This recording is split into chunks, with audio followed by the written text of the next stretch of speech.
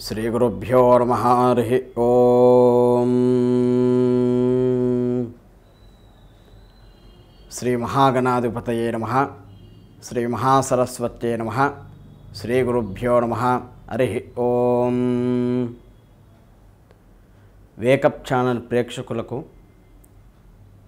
వికారినామ సంవత్సరం దక్షిణాయనం శరదృతువు కార్తీక మాస.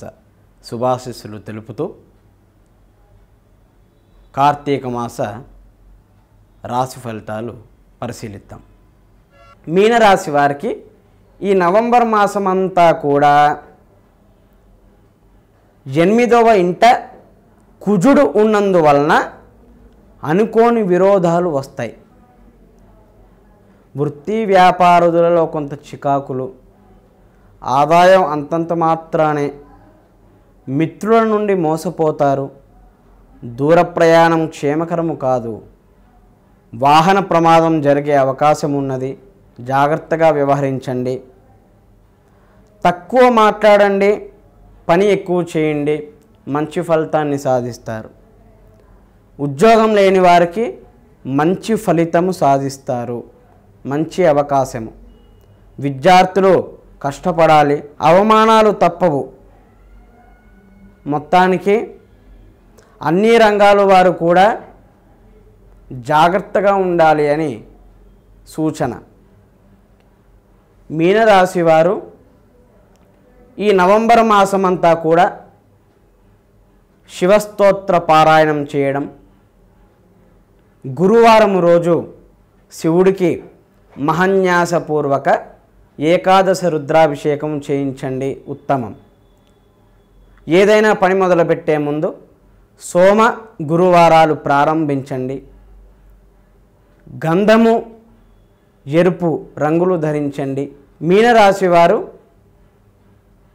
రాహు ప్రభావం ఉన్నందువలన మినుములు దానంగా ఇవ్వండి. సాయిబాబా వారి ధునిలో కొంత నవధాన్యాలు అగ్నిహోత్రునికి ఆహుతించండి.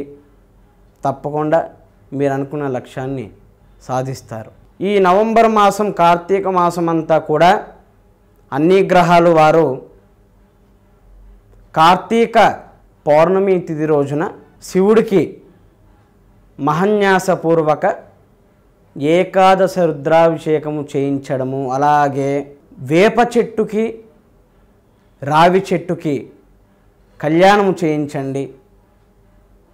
సంతానం లేని వారికి కళ్యాణం కావాల్సిన వారికి ఉద్యోగ ప్రాప్తి రావాల్సిన వారికి అందరికీ కూడా మంచి సమయము. కృత్తికా నక్షత్రంలో ఏర్పడేదే కార్తీక మాసము. కార్తీక మాసం అంతా కూడా విష్ణువుకి శివుడికి ప్రీతికరమైనటువంటి మాసం అందరూ కూడా శ్రద్ధాభక్తులతో హరిహరు ఇద్దరిని కూడా స్మరించండి.